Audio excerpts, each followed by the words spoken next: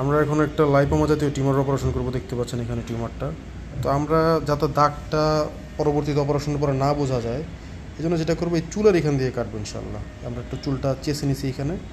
চুলের এখান দিয়ে কাটলে পরবর্তীতে যখন চুল উঠবে তখন এখানে দাগের তেমন কিছু থাকবে না। কিন্তু আমি যদি একটু এদিক দিয়ে কাটি তাহলে কিন্তু দাগটা স্পষ্ট বোঝা যাবে। সো টিউমারটা অপারেশন করব এখন ইনশাল্লাহ সাথেই থাকেন। অপারেশনের পরে আপনাদের সাথে আবার দেখাচ্ছি জায়গাটা কেমন থাকে। ব্যথা লাগলে বলবেন হ্যাঁ? ব্যথা লাগে বেশি?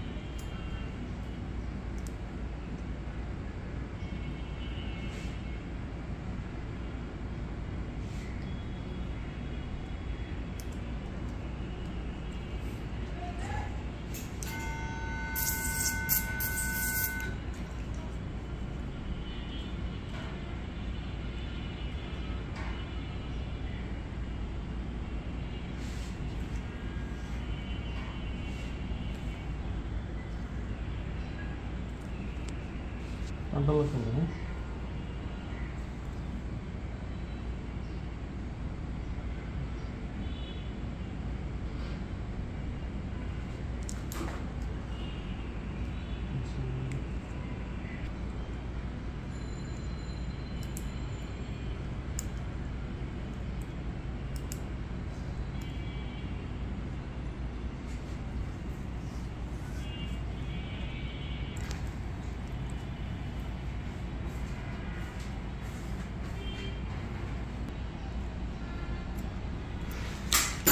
এই যে টিউমারটা দেখতে পাচ্ছেন, এই জায়গায় আসেন।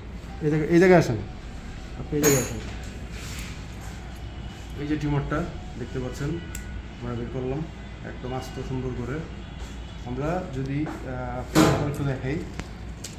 যদি আমরা আরও নিচ দিয়ে কাটতাম, এই জায়গায় যদি আরও নিচ দিয়ে কাটতাম, তাহলে আমাদের টিউমারটা বের করতে আরও অনেক ইজি হতো কিন্তু দেখা যেত যে পেশেন্টের একটা বড় সড়ো দাগ বা ছোট একটা দাগ হালকা এটা বোঝা যেত সবসময়। কিন্তু যেহেতু আমরা চুলের এখান দিয়ে কাটছি, তাই কিন্তু এখন ইনশাল্লাহ ডাক্তার বোঝা যাবে না। কারণ চুল উঠে গেলে তখন আর ডাক্তার কেউ বুঝতেই পারবে সো এটাই হচ্ছে একটা কসমেটিক অপারেশন যাতে পেশেন্টের দাগও বোঝা না যায় এবং টিউমারটা অপারেশন হয়। তো সবাইকে অসংখ্য ধন্যবাদ অপারেশনটি দেখার জন্য। বিদায় নিচ্ছি, আসসালামু আলাইকুম। রহমতুল্লাহ